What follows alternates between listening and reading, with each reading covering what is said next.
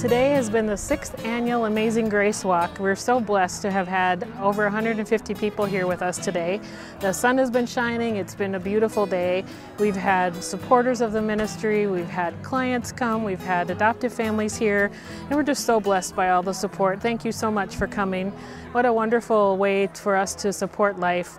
Our motto is to defend, restore, and shelter life. And today we've been focusing on sheltering life and on what we've been doing here at the Amazing Grace Home over the past uh, two and a half years. We've sheltered 17 women in our home, and we've seen women make adoption plans for their children and parent their children. And just so grateful for all that people have done to help us. And thank you so much for those of you who have participated today, and for those of you who pray for us and who support us in so many different ways. We're very grateful. Thank you so much. The importance of the Amazing Grace Walk is the time and the opportunity for the community to get together and help those women in need.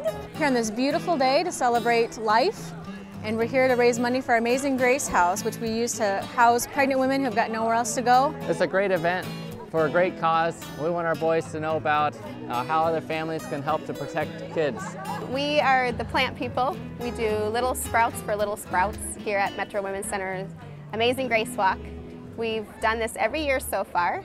Um, we started off with just some extra tomato plants that I asked Colleen if we could bring and see if people would donate. And every year we've come back with more and more flowers and veggies.